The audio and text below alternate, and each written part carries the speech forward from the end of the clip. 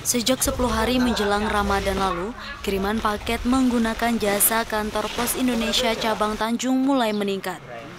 Bahkan peningkatan barang diterima tersebut mencapai 30 hingga 40 persen dibandingkan hari biasa.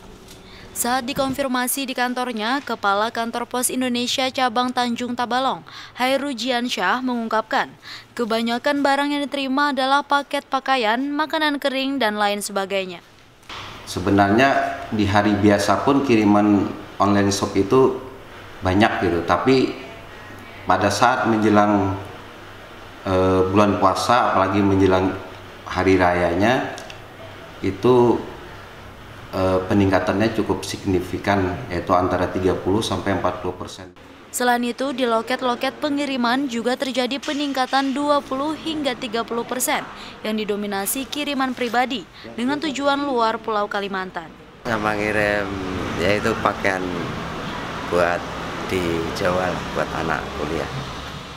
Bahkan saat menjelang hari raya nanti, barang yang diterima PT Pos Indonesia cabang Tanjung Tabalong diperkirakan mengalami over kapasitas.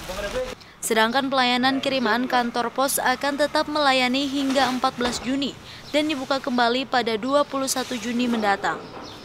Ruliandi Rahman, TV Tabalong melaporkan.